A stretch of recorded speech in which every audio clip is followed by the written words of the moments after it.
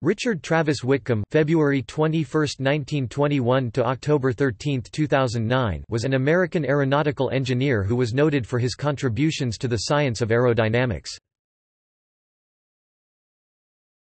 Topic: Biography Whitcomb was born in Evanston, Illinois. His father, who had been a balloon pilot in World War I, was a mechanical engineer who specialized in rotational dynamics. In 1932 the family moved to Worcester, Massachusetts when his father became employed at the Norton Company.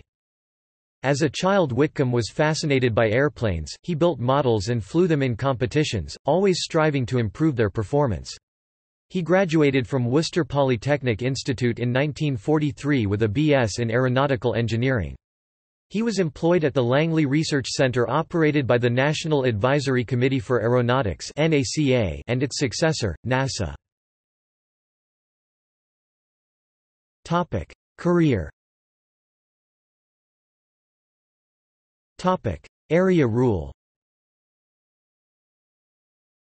After World War II, NACA research began to focus on near-sonic and low supersonic airflow. After considering the sudden drag increase which a wing fuselage combination experiences at somewhere around 500 miles per hour, 800 kilometers per hour, Whitcomb concluded that the disturbances and shock waves are simply a function of the longitudinal variation of the cross-sectional area. That is, the effect of the wings could be visualized as equivalent to a fuselage with a sort of midriff bulge whose frontal area was the same as that of the wings. Since the wings could not be dispensed with in the actual case, the alternate to removing the bulge would be to decrease the fuselage's cross-section near the wings. This became known as the area rule, which allowed a significant reduction in the drag felt by airplanes near the speed of sound. Its impact on aircraft design was immediate. The prototype Convair YF-102, for example, was found not to be capable of exceeding the speed of sound in level flight. This was rectified by resculpting the fuselage. For his insight, Whitcomb won the Collier Trophy in 1954. In 1958, Whitcomb was named head of Langley's Transonic Aerodynamics branch, and he began working on a possible SST design. He built proposed models, but by 1962 he abandoned the project because of the intractable drag problem. Casting about for other research, he returned to the question of transonic drag, especially on wings. Supercritical airfoil To achieve reduced drag in the transonic phase, Whitcomb realized that the wing's pressure distribution must be modified to delay and weaken the shock wave created on the upper surface where the high-velocity flow decelerated to subsonic. Using intuition rather than mathematics, he built a 2-foot (0.6 chord wing section and tested it repeatedly in the Langley high-speed wind tunnel, adding with auto body putty or removing with a file and sandpaper material until the desired flows were achieved. Although a low-drag airfoil in the transonic range was thus produced, Whitcomb's superiors observed that not every aircraft manufacturer could be expected to use file and sandpaper to design the needed shapes. Therefore, NASA signed a contract with the Courant Institute at New York University, whose mathematician Paul Garabedian and aerodynamicist Anthony Jameson worked with Whitcomb to develop a practical computational method for designing supercritical airfoils, those that were most efficient in the transonic range. Using this method, supercritical wings were fabricated and proven on full-scale aircraft, in 1971 a Vought F-8 Crusader, and in 1973 a General Dynamics F-111 Aardvark, were flown at the NASA Flight Research Center in California.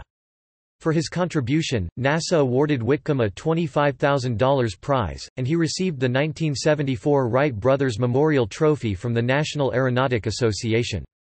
The unusual airfoil unexpectedly aided general aviation as well, its rather blunt leading edge allowed it to generate high lift coefficients before stalling, and Whitcomb published a low-speed airfoil which he called GA W-1. It is now routinely used in light aircraft and gliders.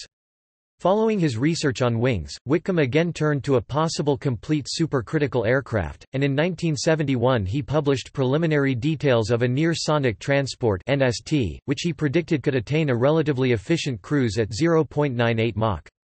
As with his supercritical wing efforts, he had largely developed the design in the wind tunnel, shaping his proposed model with putty and knife until the various secondary shocks created by wing-body intersections were muted as much as possible.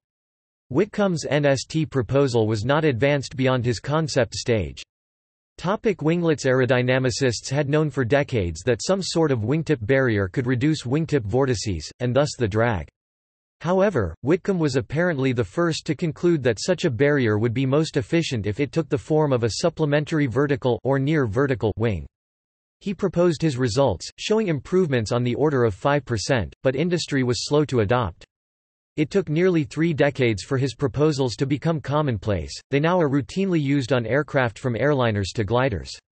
Topic later life Following his groundbreaking research on transonic airflow, Whitcomb spent several years moving in an entirely different field, the possible extraction of usable energy from the environment by employing possible avenues of quantum physics. However, these investigations bore no result, and in 1980 he suddenly announced his decision to retire from Langley. Whitcomb continued to serve as a consultant to the aviation industry when asked. He continued to live in an apartment building in Hampton, Virginia, his residence since 1943. He had never married, but for 25 years was close to a NASA mathematician, Barbara Durling. She died in 2001. Whitcomb died in Newport News, Virginia in 2009. Topic awards and honors Collier Trophy of the National Aeronautic Association 1954 USAF Exceptional Service Medal 1955 NASA Distinguished Service Medal 1956 ASA Exceptional Scientific Service Medal 1959 National Medal of Science in Engineering 1973 Wright Brothers Memorial Trophy of the National Aeronautic Association 1974 Member National Academy of Engineering 1976 Howard N. Potts Medal 19 1979 International Air and Space Hall of Fame inductee 1998 NAS Award in Aeronautical Engineering from the National Academy of Sciences, 2000 National Inventors Hall of Fame 2003 topic References topic External links Peter Garrison June 2002. The Man Who Could See Air. Air and Space, Smithsonian, Volume 17, No. 2, p. 68. Retrieved 15 December 2014. T. Rees Shapiro, the 16th of October 2009. Richard Whitcomb, 88, dies. Engineer changed the way we fly. The Washington Post obituary. Retrieved the 22nd of May 2010. Whitcomb's first clue. Engineer in charge. NASA History Division. January 1986. NASA People, aviation pioneer Richard T. Whitcomb. NASA Langley Research Center. 13 October 2009, Richard T. Whitcomb Collection at the WPI Manuscript Collection